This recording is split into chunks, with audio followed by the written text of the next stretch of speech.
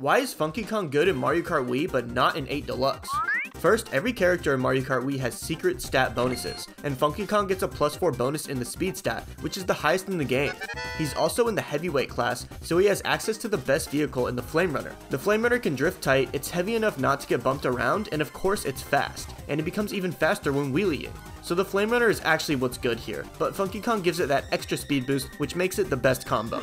Now in 8 Deluxe, each character still has stat bonuses, and Funky Kong still has the highest speed bonus, but the need for speed is not real in 8 Deluxe. Instead, Mini Turbo is king. The Mini Turbo stat isn't displayed on the character select, but it gets calculated just like any other stat does. A high Mini Turbo stat means your boost lasts a longer time, and this is actually more useful in making your car go fast, even more so than the speed stat. That's why the Yoshi Teddy is considered the best combo. It has a high Mini Turbo stat, as well as good handling and acceleration. Unfortunately for Funky Kong, he gets no extra Mini Turbo boost.